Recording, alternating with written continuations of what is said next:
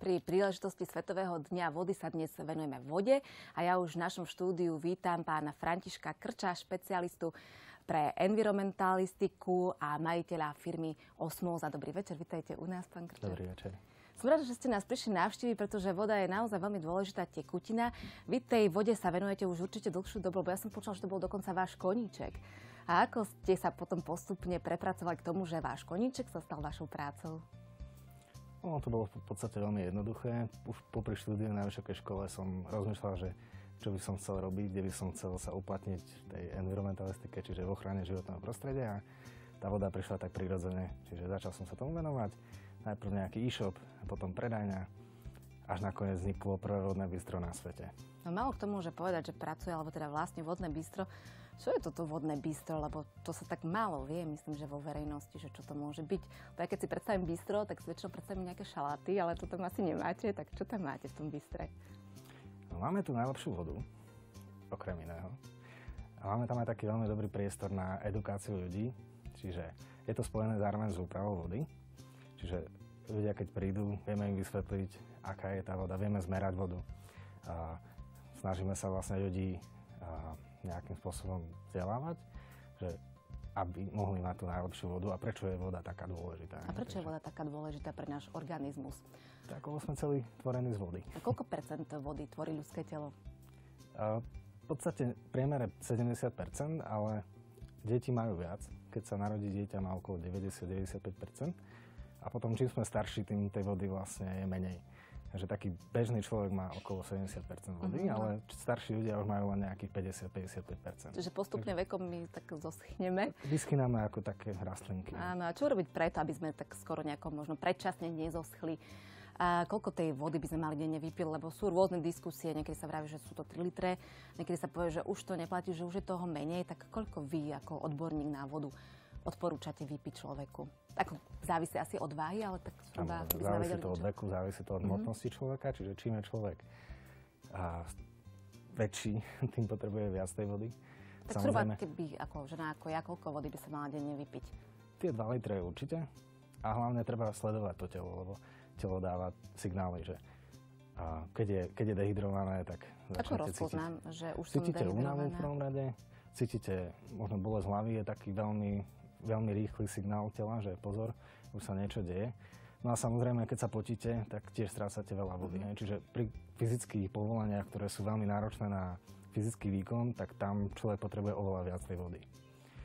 Tá voda by mala byť hlavne kvalitná, čerstvá, mm-hmm.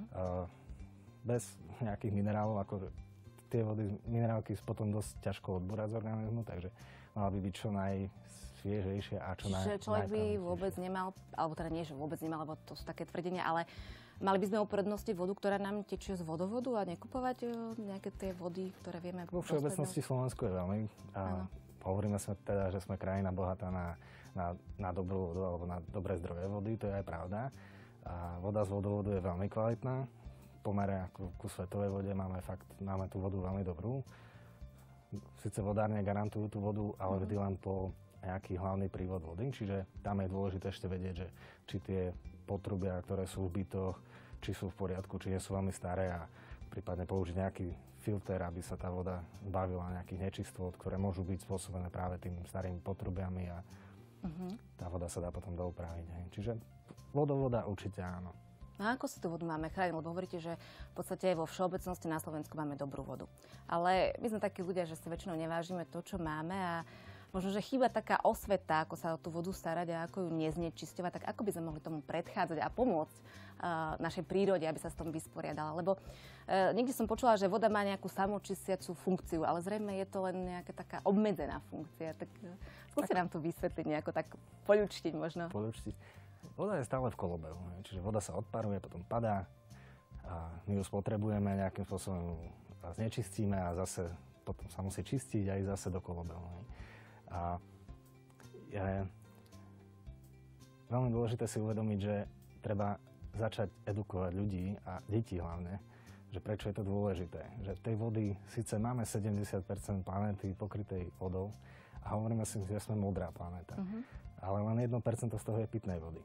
A tá voda tu nebude väčšine pitná, zhoršuje sa nám kvalitná životného prostredia. Ľudia žijú rýchly život, konzumný a práve týmto produkujeme viac a viac odpadov. Čiže hlavne je dôležité učiť tie deti, že ako a prečo, to je dôležité, sa starať o vodu a hlavne treba, aby ľudia nežili takým rýchlým konzumným životom. Lebo potom produkujeme veľa plastov.